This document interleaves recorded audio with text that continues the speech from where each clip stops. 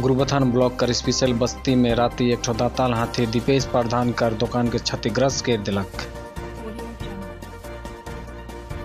और दीपेश प्रधान कहला कि राति पानी आवे कर चलते दुकान के टूटाई दिलक से कर बाद में हम इनके पता चल चललक।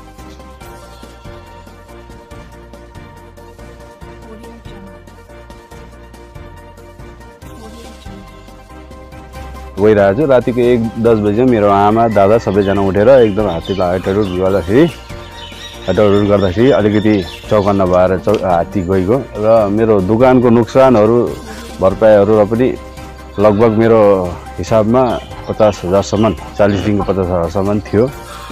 यसरी रातिको एक दस बजी घटना घटित भयो हो। त्यस विषयमा अब त्यतिखेर पानी परिरहेको थियो गाउँको मान्छेहरू पनि आनन्द निनमा थियो हो। यस्तो अब भइरहेको थियो। लास्टमा पछाडि गएर बिहान आउँदा सबैले हेर्दाखेरि यस्तो भइरहेको थियो। अन्त म त्यहीँनिर प्रेजेन्ट थिएँ। त अब देउताले यसरी भत्काइसक्नु भयो अब भत्काउँदाखेरि पनि हामीले केही गर्नु सकेनौँ।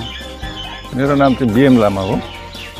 अन्त यहाँ चाहिँ अब यस्तो भएछ हामीलाई चाहिँ थाहा पनि थिएन। अब राति एक दसको घटना रहेछ। अन्त हामीले त बिहान मात्रै चल पायो अब त्यति बेला पानी पनि पानी पनि परेकोले गर्दाखेरि हामीले सुन्नु पनि पाइएन। अब पानी बेसी आएको राति अब दुई तिन दिन भइसक्यो पानी आएको आएकै बर्खाको बेलामा। त्यही भएर अब यहाँ चाहिँ कताबाट आयो उँधोबाट आयो कि उँभोबाट आयो कताबाट आयो हामीलाई थाहा भएन हात्तीको हात्ती थाहा भएन अब यहाँ चाहिँ अब धन्न आमा छोरा त्यहीँ बसिरहेको रहेछ सुतिरहेको रहेछ र अब गाडाङ गुडुङ गर्दा चाहिँ थाहा पाएर उनीहरूले ले हाहो गर्दा चाहिँ अलिकति भागेछ हो अन्त यताबाट पनि निस्केछ टर्चहरू देखाएछ। त्यसले गर्दा चाहिँ अलिकति भागेछ। अब कति घटना भयो यहाँ। अब सामानहरू चाहिँ अब भनौँ त्यति बेला पानी पनि आएको। कतिवटा सामानहरू पनि सबै नै अब भिजेर खत्तमै भयो। कति खाएछ हो।